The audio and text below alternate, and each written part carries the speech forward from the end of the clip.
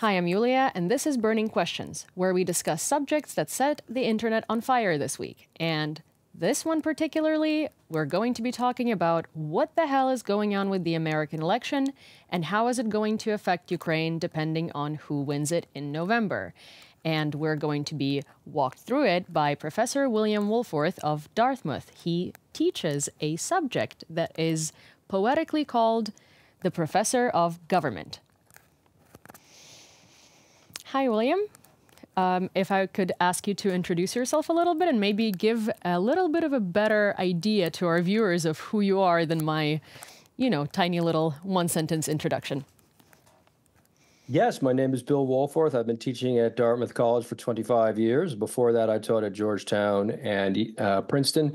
I specialize in international relations, um, U.S. foreign policy, also a long um, background studying uh, Soviet and Russian foreign policy, uh, a little bit of background in the domestic politics of U.S. foreign policy. Amazing. Thank you so much. So I guess we're going to start with the most burning question, and that is what how do you see the current presidential race panning out? Do you think that something had changed drastically since uh, Biden dropped out and Kamala stepped forward? And how are you seeing the dynamics change within the voting field? Based on the best expert analysis I'm uh, familiar with, uh, the race has changed from an almost certain defeat of a Biden candidacy to now more of a toss up between uh, the uh, Trump Vance ticket and the Harris uh, Walz ticket. Um, although there's a huge uh, degree of enthusiasm, a sense of momentum on the side of the Democrats, the polling suggests a very close race. So I wanted to ask you, maybe you're familiar with this. I've been doing some research, and I do know. Well, I mean, I, have lived in uh, the United States for 13 years in New York myself, so I'm very familiar with American politics. But uh, one of the things that I have recently found out is that 1% of the voters in Pennsylvania are Ukrainian diaspora, and 0.5% of the voters in Michigan are also Ukrainian diaspora. And um, I wonder if that could influence the election because the talk of the town is that Ukrainians might be able to swing the states in their favor depending on who they're voting for, because that's quite a large percentage of voters being Ukrainian and having, you know, having their interest in the Democrats winning. Yeah, that's a great uh, that's a great issue. I, I I have to I would need to have information on exactly how they voted last time. So the point is those states are considered toss-up states because of how close the vote count was last time. And in the last election, um, um, I'm not sure whether the, I mean, obviously the uh, uh, Ukraine uh, war had not yet begun. Um, and, and, obviously, the first invasion had begun, but the full scale invasion had not begun. And the Ukraine issue was not as salient in American politics as it's going to be in this election.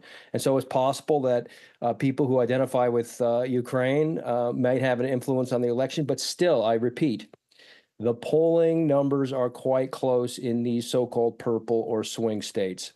And so it's not going to be sufficient.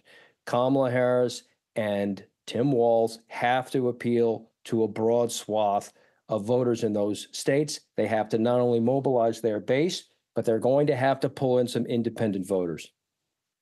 Seeing a lot of the change in the uh, in sort of the voting field since the uh, scandalous Trump interview with the Association of Black Journalists of America, where that very much did not go according to his plan, I suppose, because again, like black voters are a very large population of America, and I cannot imagine that after watching this, a lot of them are going to want to give their votes away to Trump.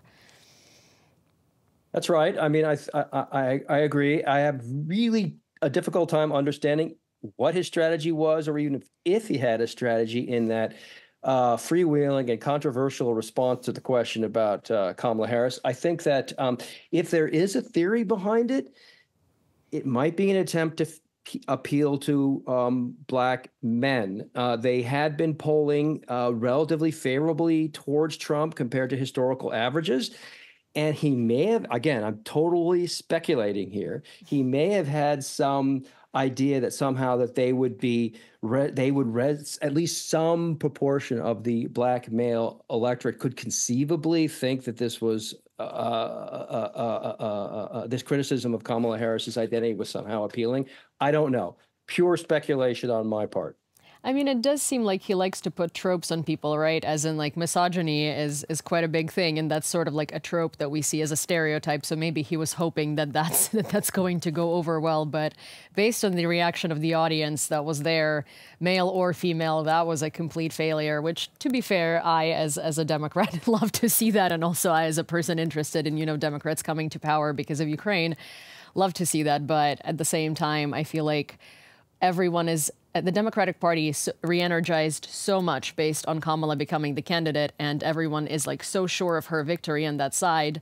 But it's you know I I'm a little skeptical in terms of we never think Trump is going to win, right? And then he just comes out of comes out of the woodwork and does so. You know, yeah, I think it's a big I think it's a big mistake to necessarily generalize from that elite audience in that room. So that's a highly elite audience of African American journalists um, their response is probably going to mirror the response of uh, my guess is without any further information my guess would be that that response would be overwhelmingly typical of the overall black electorate. However there are there may be some subgroups uh, who who who who for whom that uh, crazy sounding uh, uh, Trump trope uh, might with whom they that might resonate resonate. Again, it's complete speculation on my part. Frankly, not having any inside information on Trump, uh, he looks like he was winging it. Um, and, and and it wasn't something that was reflective of some great strategy or some great thought. Thought that winging it approach, that ad libbing, that going with the flow, has worked for Trump in many cases. It really does look like it did not work in this particular case. I mean, I think it's also the contrast, right? We're so used to seeing an 81 year old Biden who could barely like tie two words together because, well, I, and and that's not to the detriment of his uh, intellectual abilities. It's rather it's it's obvious that you know he's in his 80s. It's a little more difficult to sort of do public speeches, and I think that. In contrast to Biden, these things sort of worked because when you watch Biden speak and give speeches and struggle, and then you watch Trump, at least he's like, you know, at least he's energized. And I think now that Kamala is in the picture, winging it is not necessarily going to work, especially if he's going to be debating or speaking uh, or talking against her or talking against Walz, because they can actually address it and they can address it energetically. And I think that people are so incredibly tired of just listening to these things and being like, oh, of course it's Trump. He's not going to answer questions realistically. He's just going to say a couple of things that are that are deflectionary, and we're just going to move on from it. I think people are really trying to hone in on like, no, this is what I've asked you, and you're not providing me with the answer that I've asked you please, please try to answer it. One definitely senses a change in the dynamic, and it's not one at the moment that is favorable to Trump. It's important to recognize that lots of political scientists, people who spend their lives studying American elections, are very skeptical of these kinds of conversations about campaign tactics, uh, about mood, about vibe, uh, uh, uh and so forth. However, those generalizations of experts are based on the past history of elections. And we've never quite had a situation like this.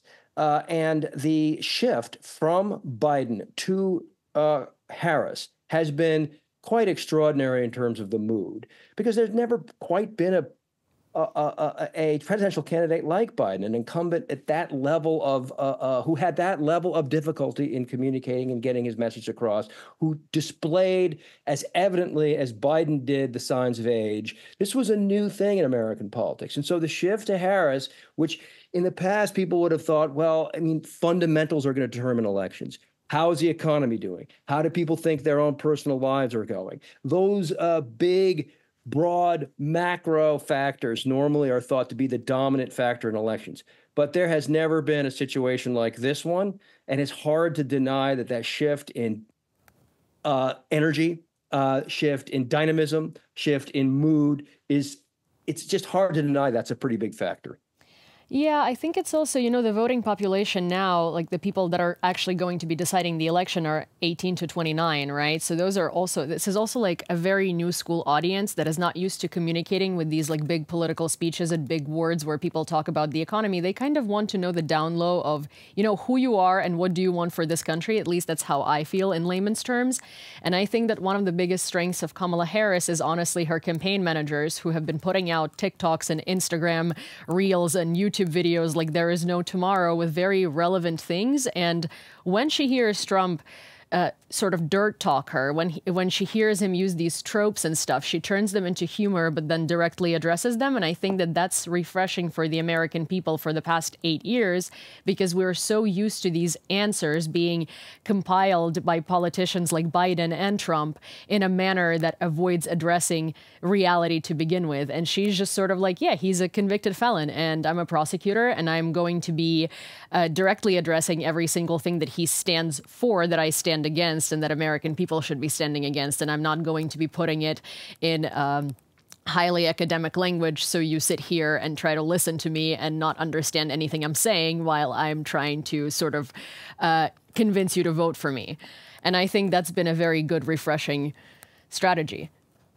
Very much so. I would say that the, you know the, I agree with all the commentary, and personally, it's my own personal experience. The transformation in her uh, public presence between what she was presenting in the 2020 primary and what she's presenting now is dramatic. Uh, she is coming across way more genuinely. In 2020, she came off far more like a traditional politician, uh, where her um, uh, sound bites seemed to be scripted by screen uh, by uh, write, uh, by campaign writers rather than by herself. Now she's coming off much more um, relatable, I think, to many, many people. At least that's the common view. However, there is a big question mark over this. It's important to recognize. Her persona, as perceived, is has been carefully curated by that media team, by that social media team, and by these very, very well attended rallies. We have not yet seen her in an unscripted news conference, Q&A, or debate uh, and it is or, or, town hall meeting type format. And so there still is a question mark on how she will do under those circumstances.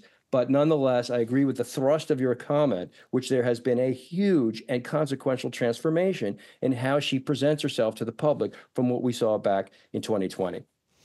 I actually, before we move on to like uh, the next part of the subject of this conversation, which is going to be Ukraine and uh, and kind of what Ukraine can expect based on whether Kamala or Trump prevails, I actually want to know myself because we're talking about how dynamics in politics are changing, and you're a professor of uh, poli sci essentially, but government. We're going to stick to Dartmouth to Dartmouth definition of the subject, and uh, I'm curious as to how, in your experience, teaching the students of this generation versus past generations changed based on how like the politics is changing? I think it's. Uh, I, I do think the the information space is the biggest change. That uh, when I started out in this profession, and even really when I came to Dartmouth, um, the media landscape, the information landscape had not been so utterly transformed by social media. Now it is.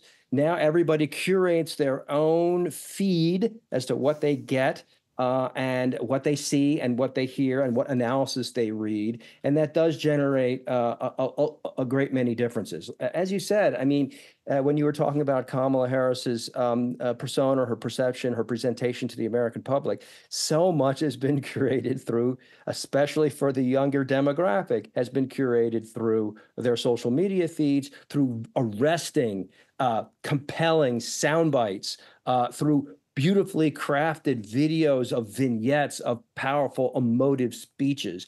And that does affect how people perceive and think about politics in ways that we really didn't have 20 years ago. Yeah. I mean, I also personally have a conspiracy theory if I've ever had one. Um, I wonder if you would agree with this. Do you think that potentially and i mean i don't i don't think i don't fully think the democrats had the capacity to do that but they were losing pretty badly and biden was doing really bad and we can see that one of the things that the Republicans are not doing very well in this information space is they have no attacks or tropes against Kamala Harris that aren't very evidently bad and easily disproved because they were simply not prepared. Like they've spent, you know, billions of dollars of campaign money campaigning against Biden and reinforcing these tropes of him needing to go to an, a, you know, a nursing home essentially and him having dementia and all of these things that we've heard before, right? They don't necessarily have anything to say about her other than, well, she's a woman, she's black, fact, she laughs ba- bad and like, oh, she was tough as a prosecutor, which she wasn't really. And it's easily disproved as well. Do you think that maybe the Democrats made an ace of spades move and let Biden run again? Because he did say that he was going to be a one term president, right? And they let him run again and then made him drop out three months before the election because they potentially might have seen that that would be a winning strategy, at least because re- Republicans would be caught off guard?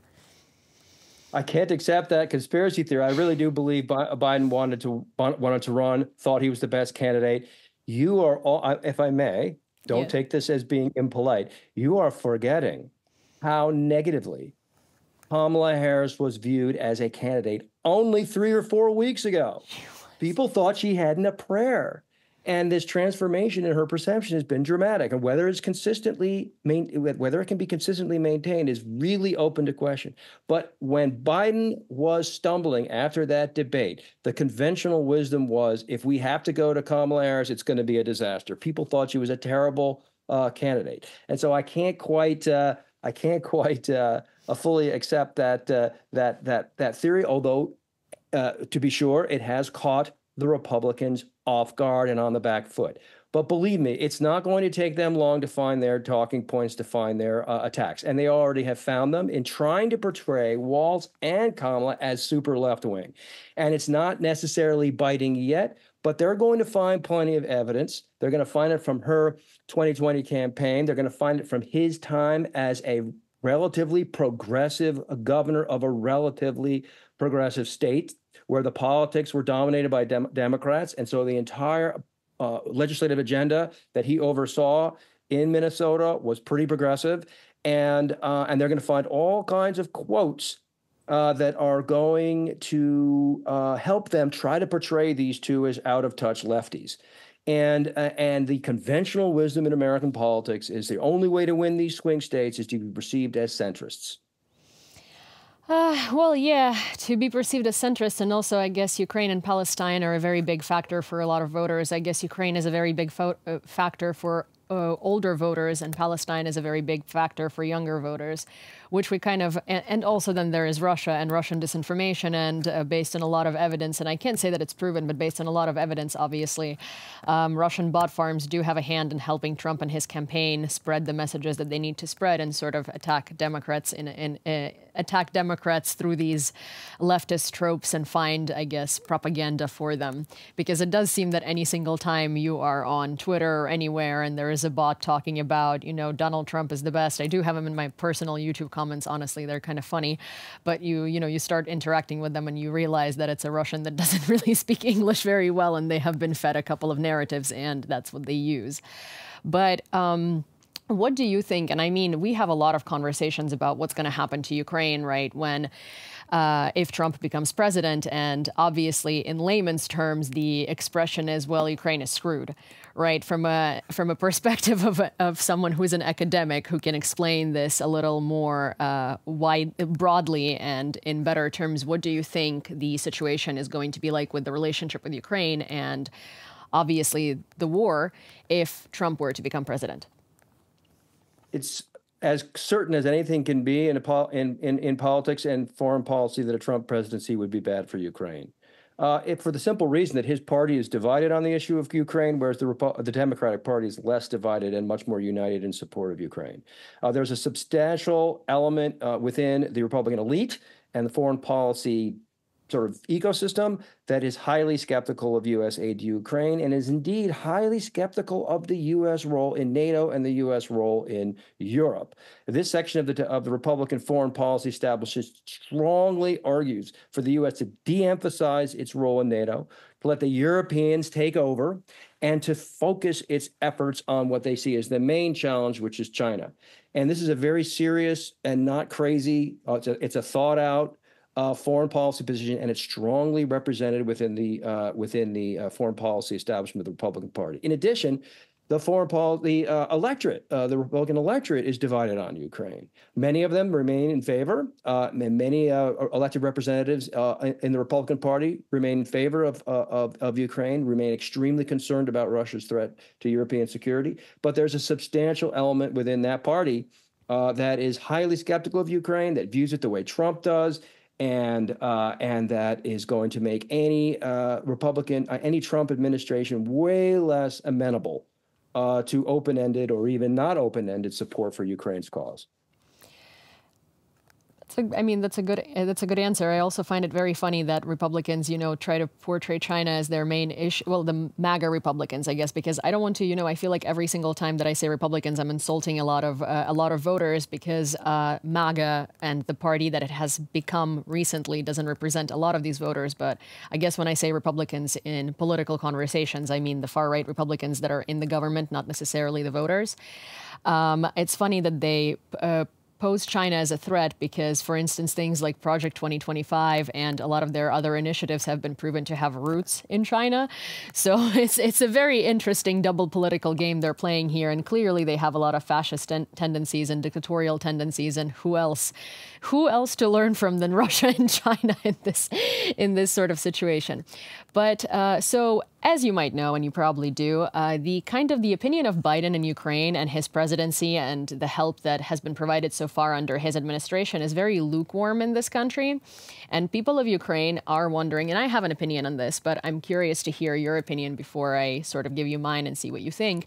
But how do you think Kamala's presidency and her policy towards Ukraine would be different than that of Biden's? It strongly suggests, all the available evidence suggests that it's going to be much more favorably inclined towards Ukraine, much more traditional with respect to the role of NATO, much more sharing the standard American establishment foreign policy view that America's role in Europe is necessary uh, for um, U.S. and global security, and that Ukraine's um, that denying Russia a victory in Ukraine is an important American national security interest. This has been evident so far, at least in all the statements we've been able to find and all the positions we've been able to discover of uh, Vice Presidential nominee uh, Tim Walz. And uh, the same goes for Kamala Harris, who has uh, strongly articulated the administration's position with respect to Ukraine. Bear in mind, Kamala, however, bear in mind, however, as you know, uh, the Biden administration's policy in Ukraine has been, in the eyes of many, certainly many in Ukraine, careful, uh, circumspect, uh, worried more about escalation than many people uh, in Ukraine and in the United States and elsewhere think they should be worried. And so it has not. Uh, it has uh, you know slowly rolled out uh, uh availability of various kinds of weapon system. As far uh, to Ukraine, it has been, uh, as you'll know, in the summit in Washington of the NATO alliance, talking about a future for Ukraine in NATO, but at the same time, careful language about how there has to be consensus within the alliance in, before a concrete membership action plan is put together. All of that has been Biden administration policy. So far, I have not been able to discover in the foreign policy circles around Kamala Harris a, a, a, a um, uh, evidence to suggest that she would be more um, uh, favorable towards aid to Ukraine than the Biden administration from which she hails, but we don't know that for sure. So um, I have been able to discover some rumors, at least. So we all know that National Security Advisor is Jake Sullivan. Jake Sullivan was also the NatSec for Obama as well, and uh, he uh, he is uh, slightly relevant to the drone strikes and to some quite questionable, I guess, foreign policy decision, decisions when it concerns national security. And a lot of people do think that because he's the national security advisor, the fault lies with him. So the rumored national security advisor for Kamala Harris is Philip Gordon, who in 2018 wrote what I would call a manifesto on how we should start a Cold War with Russia and explaining all the national security threats that Russia poses, especially within the you know 2016 election and the role of bot farms and Russian disinformation in uh, aiding Trump to win, in his opinion. So do you think that that would potentially change the picture if he were to be the national security secretary? And also, in my personal opinion, one of the reasons why the aid is being rolled out so slowly and so carefully is because, well, all of the politicians around Biden and Biden himself, they kind of grew up in the Cold War era where Russia was the big and mighty USSR. And I feel like maybe on a personal level, they still see it as the big and mighty USSR rather than, you know, Russia with all of its problems and all of its nuclear red lines and crying wolf and all of these things that they promise to do and then never do because they simply do not have the capacity to. I agree that Philip Gordon's pro, uh, profile, public profile, and positions taken do seem to be more forward-leaning on Ukraine uh, than uh, than what we've seen from Jake Sullivan. However, I am much more cautious in forecasting that that would result in a substantial change in U.S. policy.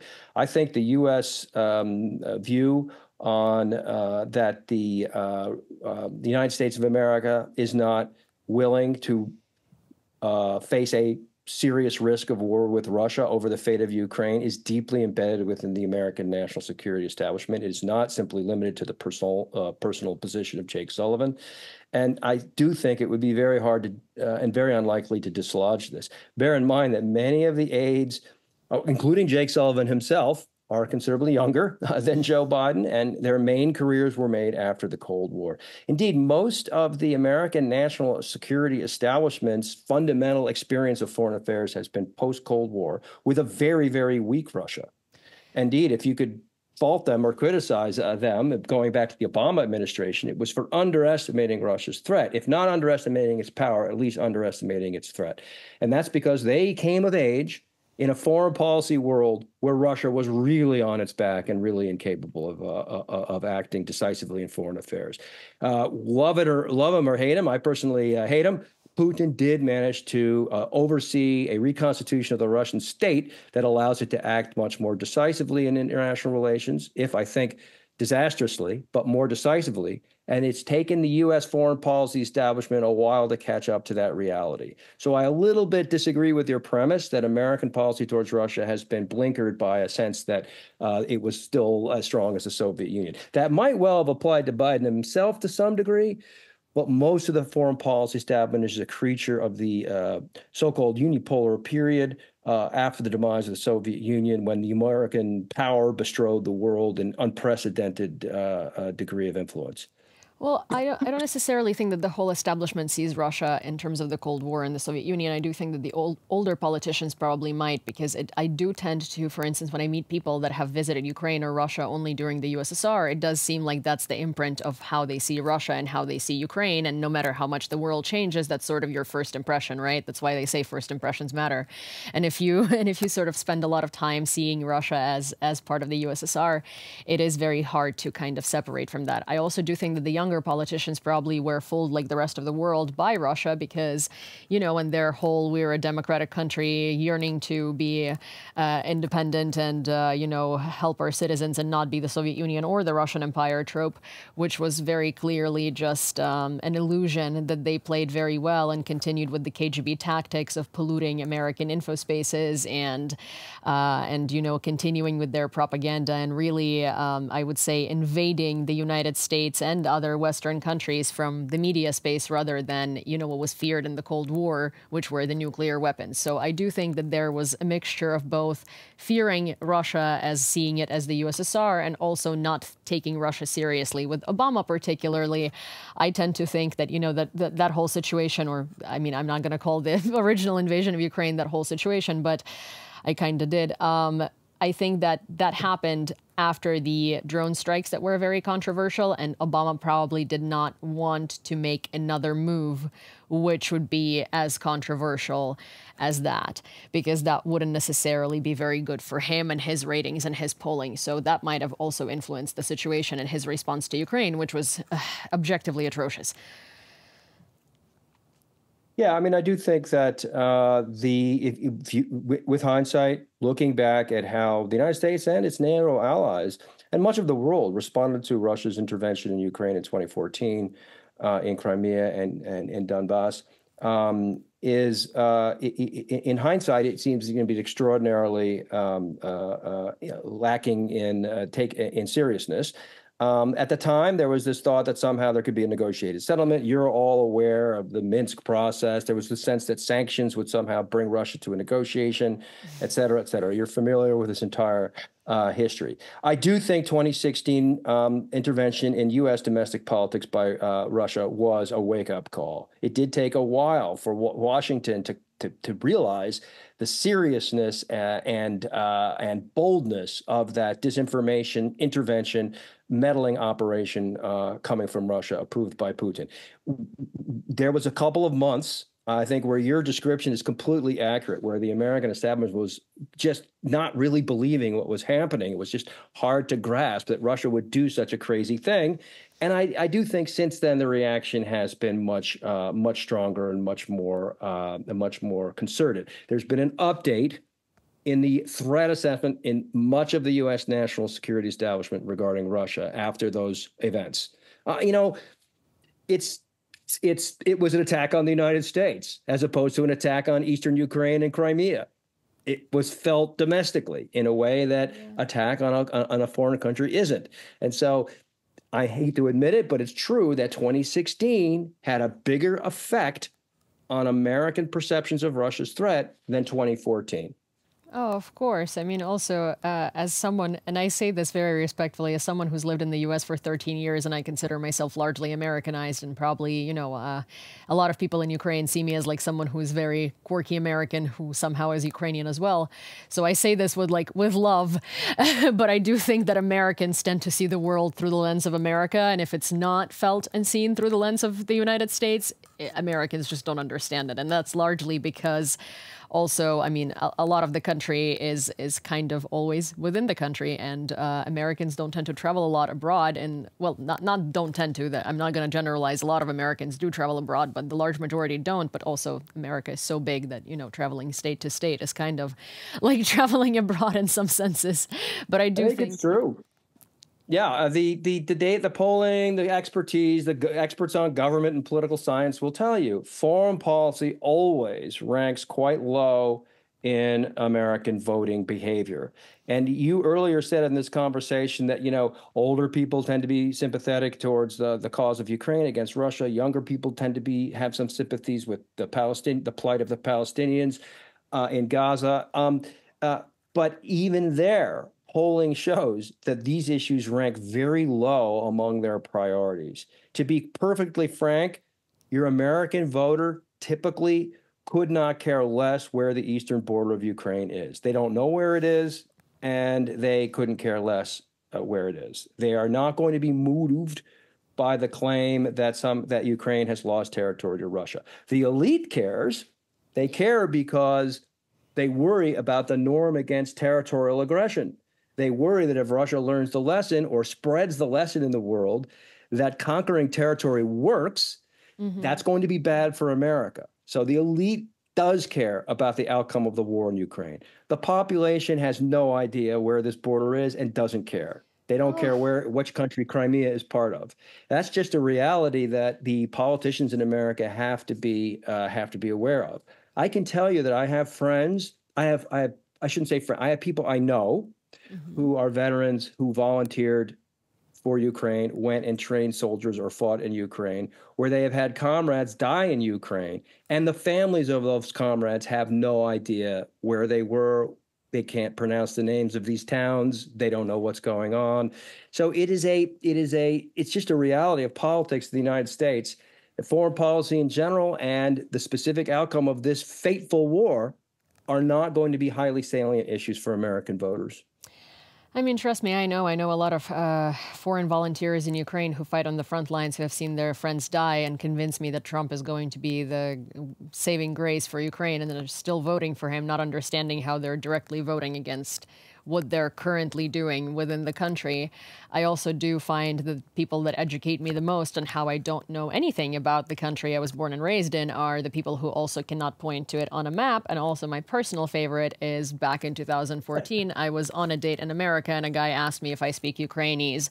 So, you know, I am fully aware of all the things that are happening within America in regards to geography and geopolitics, because, I mean, to be fair, we're not doing a very good job in America in teaching it. And I guess uh, just for like the sake of, uh, I guess, entertainment for you in a history class, a professor of mine who was German showed a map with clicker prompts and was like, please show me where France is on this map. France is big, right? So people chose Russia. 75% of the class chose Russia as France because it's big.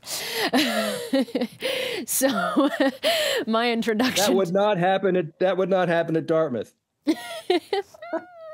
Have you ever been in a geography class at Dartmouth? Because you speak about the politics, right? But so this brings me to we touched a little bit upon NATO. I know that you your view is that we should help Ukraine as much as possible, but you don't see Ukraine's membership in NATO anytime soon. Can you walk me through that a little bit? I think the NATO uh, question is a distraction from the real issue, which is making sure Ukraine uh, uh, does as absolutely as well as it can in this war, which requires concrete, expensive uh, um, military and non-military assistance uh, to Ukraine, and that is a tough call. We have, I frankly, not done as well as as we should have. That terrible delay in the last supplemental bill had deleterious effects on Ukraine. So we should be focusing on that. I think the uh, NATO discussion is a distraction for the simple reason that Article 5 guarantees for NATO are not going to apply while Ukraine is at war. And therefore, the whole question of what Ukraine would enter uh, NATO and what the obligations would be are all contingent upon the outcome of the war, and the outcome of the war is going to be turned is going to be determined first and foremost by what Ukrainians do, but secondly by how much help they get. So I've just I've always failed to understand this obsession with talk about um, Ukraine. Now it's easy to talk about it. What's hard is to allocate the resources Ukraine needs to prevail in this war. But why do you think this discussion about NATO is so prevalent among Ukrainians and is such a big thing for us and why we we want this guarantee we sort we want this invitation we want a commitment that Ukraine is going to be in NATO. Why do you think that is? I think it's symbolic of the commitment to Ukraine's cause so that's totally understandable.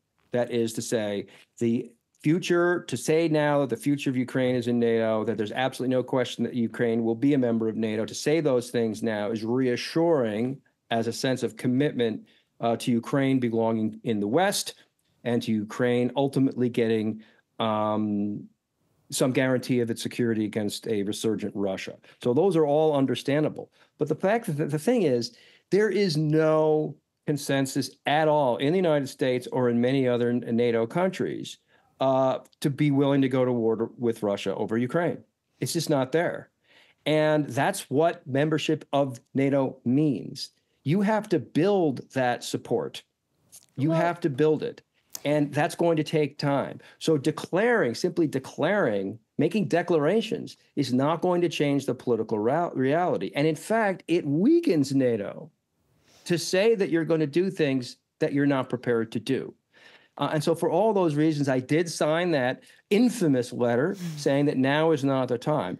I never meant in signing that letter to say that we should rule out Ukraine being a member of NATO in the future. I, I simply did. said that right now it is a distraction from the real issue. I don't think you did. I think that uh, I think that you mean very well, and you clearly support Ukraine and, and clearly have Ukraine's best interest at heart as much as America's. I just think that and I'm going to try to explain this without sounding patronizing by any means because I don't mean to. But I think one of the things that Western uh, Western even uh, experts fail to realize from seeing it from the Ukrainian perspective is that it's not even about NATO going to war for us. Like we fully understand that until you know the borders are solidified and until we have taken back our territories and until uh, there is some sort of a peace agreement signed with Russia, NATO is not going to trigger Article 5 for Ukraine. I think the issue here is that Russia knows that NATO is not going to uh, give Ukraine a guarantee or an invitation while this is happening. So Russia is going to try and prolong the war happening with all it has in order to prevent that membership from happening ever. Because, of course, Russia is going to attack Ukraine while Ukraine has all the security guarantees from partners. Because we've had, you know, we've had the Budapest Memorandum before. We've had so many security guarantees. We've had so many promises. We've had, you know, promises of equipment that shows up eight months late. We've had promises of quantities of equipment that then shows up in one thirds or one fourth of, of that equipment. Russia fully understands that guarantees, promises, contracts are a very different thing than saying, yes, Ukraine is 100% going to be in NATO. We are inviting you into it, but on a condition that we can't provide, for instance, like Article Five at the moment, uh, while while like there is a still border dispute with Russia. I think that the issue here is that we are not asking for NATO to trigger Article Five.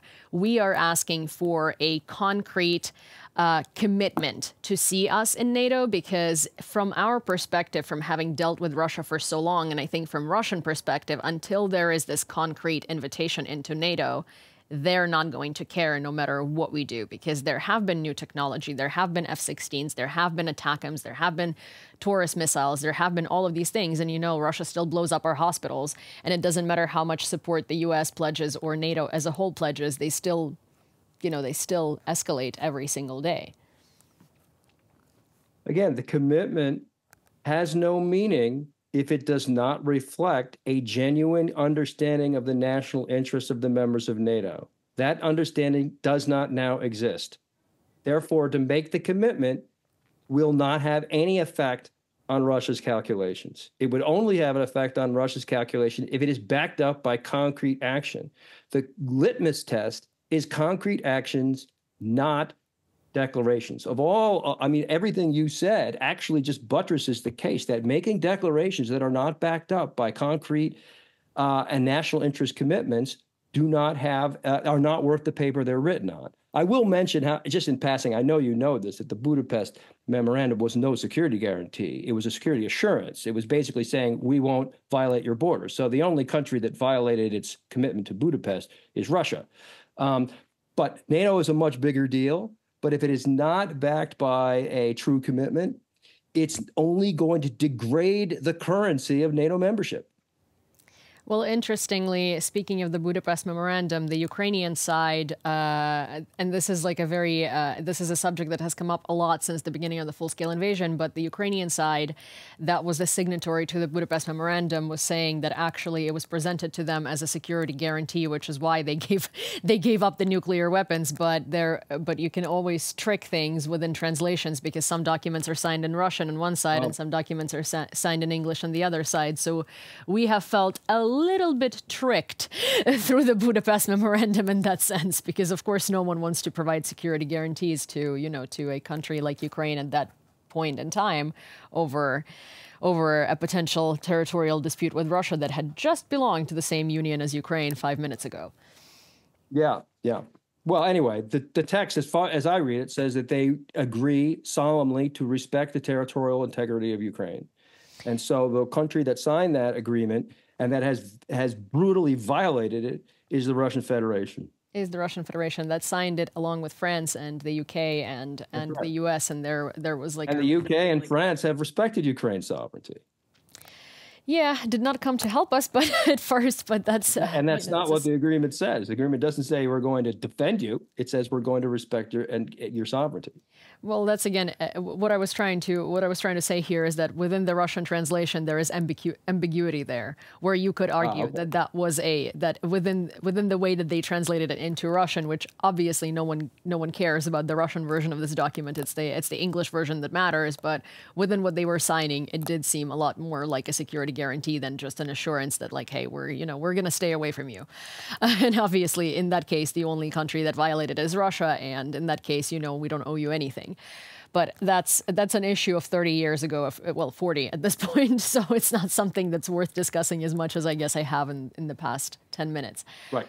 But i do want to come back a little bit to um, to the NATO situation, I do see where you're coming from when you were saying that uh, I said it myself that it doesn't matter, you know, it's not worth the paper that it's written on. But I think that in this particular scenario, it's because of how much has been discussed and because of how much there is the belief on both the Russian side and the Ukrainian side that this is that this is this milestone that Ukraine is, that, that is being made unreachable to Ukraine. I think there is a symbolic meaning, but a symbolic in a way where uh, I'll draw you a parallel. So if Ukraine were to take Crimea tomorrow, Ukraine would still not have the capacity to take back Donbass, right? But because Crimea is the Achilles feet for uh, foot for Russia, or Achilles heel, got him. Forgetting how to speak English since I've lived in Ukraine for the past seven months now.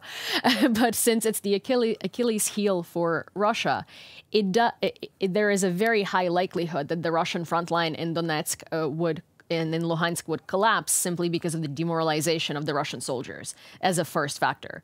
Because Crimea is something that they see as this like unpenetrable fortress that belongs to Russia. So in this particular case, I think that uh, that maybe the talk about how it's not it's not the right time or it's not something to be offered to be offered to Ukraine at the moment is simply working against Ukraine and demoralizing the population and giving Russia a lot more, um, especially when it comes from Western uh, intellectuals like yourself, it gives Russia a lot more fuel to see, ha, NATO doesn't want you. We told you that. Wouldn't you? Would you agree with that? I can see that. I understand your argument. I think it's a serious one. I just have to say, I disagree that you can make politics and strategy based on such sentiments. I really do think concrete things on the ground matter. I am extremely skeptical of arguments about sudden, quick demoralization of hundreds of thousands of Russian forces. Would be great if it were happen. Maybe. I think it is probably a uh, it is probably I, I see it as an uh, as an untenable or unreliable way of making uh, your policy. Similarly, there was a time 15 years ago when you could simply declare, hey, you're a member of NATO. And simply saying that was we didn't actually have to be able to defend the countries. Oh my God, America has said that Estonia is a member of NATO, therefore we'll never touch it. This is a different world, okay?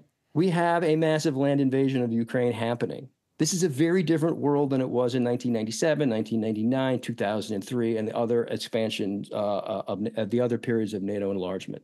And therefore, it has to be thought about differently. What's going to matter is going to be concrete capabilities on the ground and concrete, real commitments by countries in a world where great power war is a possibility in a way that it wasn't during the first um, expansion uh, exp uh, enlargements of NATO. Well, we're sort of on a doorstep of World War III, right? Well, we're we're we're we are like in the doorstep of World War III based on like the geopolitical dynamics in the world and and all of that all of that and I think people are not seeing it because World War III to them seems like trenches and everywhere all over Europe, but it's not necessarily how 2024 works because it is a different world. And to that argument, you know, since we do live in a different world and since NATO was technically created, you know, uh, if we if we talk about the unspeakable, it is to protect the world against Russia. It is to protect the world against America's biggest adversaries, right, or the West's biggest adversaries. And I find it very interesting that, you know, the rules of joining NATO and the idea of Article 5 and how they view protection stayed within the realm of when it was created. But in reality, right now, we're living in this world where there is a real situation on hand for NATO countries. And NATO countries are already supplying us with weapons and already giving us assurances and guarantees and deliveries of weapons. So wouldn't it make a lot more sense to restructure how uh, how a country is accepted into NATO, and for instance, uh, and for in, and for instance, give Ukraine a member a conditional membership in which all of the signatories are uh, obliging themselves or obliging the alliance to providing Ukraine a specific amount of help without triggering Article 5, because that would be basically what NATO is already doing, but with that symbolic um, symbolic trope of Ukraine being in NATO. Again, I just don't see how the symbolic aspect helps. What would help would be the commitment. Jens Stoltenberg, the outgoing NATO Secretary General at Washington, argued what we need to do is have a concrete, ironclad commitment uh, to large-scale transfers of Ukraine uh, of aid to Ukraine that would be that would be as uh, for as long as the war goes on. So, so let's say a ten-year commitment, just to say it. Of course, it would stop once the war stops. Yeah. Uh, and they were on. Uh, uh, they could not secure that agreement in, in Washington. To me, that was the main failure. The failure to make a symbolic declaration about NATO enlargements, to me, is not is not is not the important matter. The important matter is there was no consensus, no political will to be able to make that long term commitment, which is what I would argue is necessary. Well, it is necessary, but I guess. Uh, I- uh, I think I'm going to leave you with this, right? So we are in the situation we're in in terms of Russia encroaching itself on the, uh, on all of the West because all of the Western bright minds, and I mean politically speaking, the people in power, failed to understand Russia for so long, while Ukraine has been telling the world this entire time exactly what's happening, why it's happening, and the fact that you know, you know, you know, guys, it's not going to stop at us. It's not a localized conflict. It's a lot. It's a lot bigger issue than that.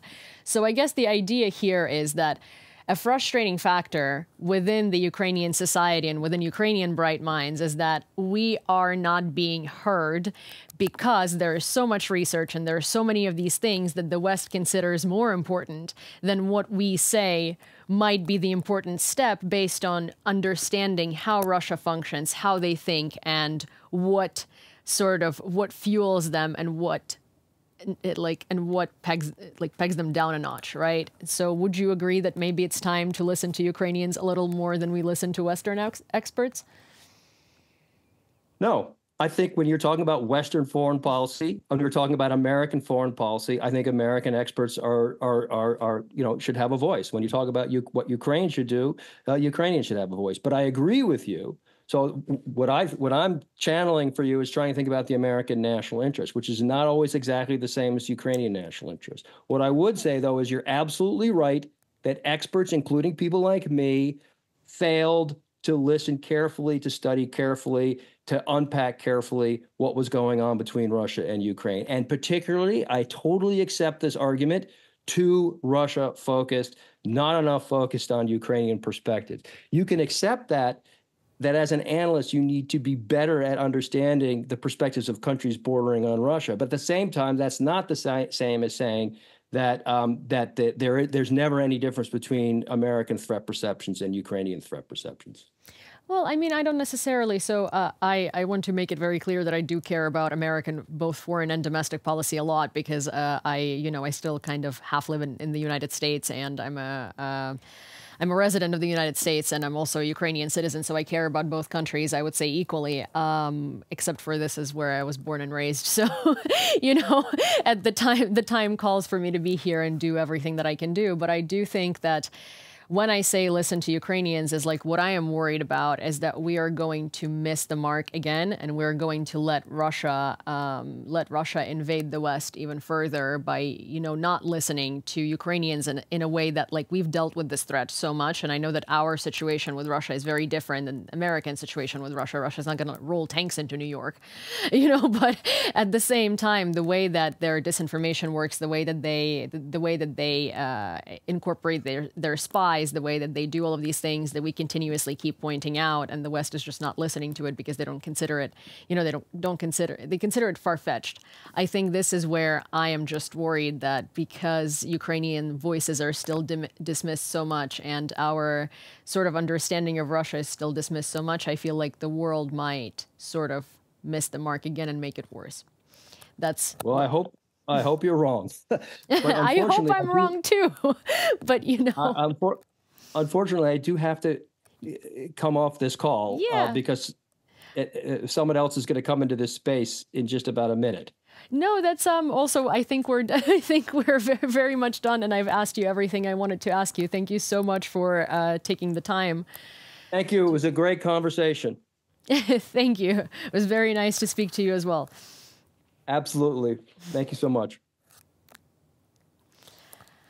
Well, that was very interesting, and I do sure hope that one day we can discuss this political situation a little a little further, especially as it develops. And but for now, that's all we have for you for today. And please do look out for the next video next week with another burning question that sets the internet on fire. And don't forget to follow the gaze to see those videos and to listen to other fantastic journalists on this channel who provide you with amazingly detailed and broad information about Ukraine and the West and how they coincide. And don't forget to like this video and share it to friends.